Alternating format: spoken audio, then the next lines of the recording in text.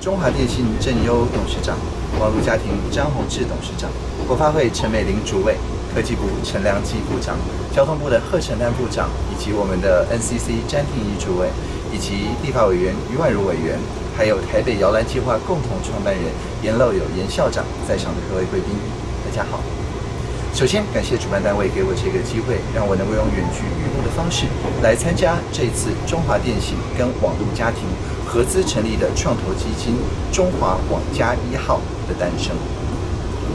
我想特别感谢，就是中华电信跟网络家庭这两家在业界都可以说是我们的龙头的企业，愿意这一次携手同心，一起为台湾的创新创业生态圈打造出钱出力的这个优化的摇篮。我想，身为负责推动社会创新的政务委员，我也想在这边跟大家分享。不管您是想要有志于自行创业，或者针对既有的产业进行创新的朋友，如果行有余力的话，也可以把社会创新 （social innovation） 这个想法放在创新创业的过程里面来一起实践。什么叫社会创新呢？它就是运用新的技术或者是一套新的方法，在有社会使命的前提底下。去改变人与人之间、团体与团体之间的社会关系，然后一同来解决社会问题。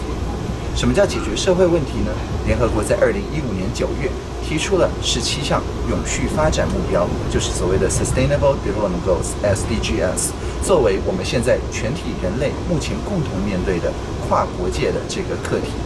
当然，其中有一些 SDG 项目，台湾基本上已经获得了初步解决，好比像说解决贫穷的问题。但是也有一些我们还需要大步赶上，像负责任的生产消费的循环。总之呢，不管是 SDG 的哪一项，要实践这个社会创新，造成正向改变，它可以从在地出发，也可以很快的连接国际。做同样题目的朋友，是一条可以走得长、走得远、走得宽阔，永远不怕没有题目做的创新之路。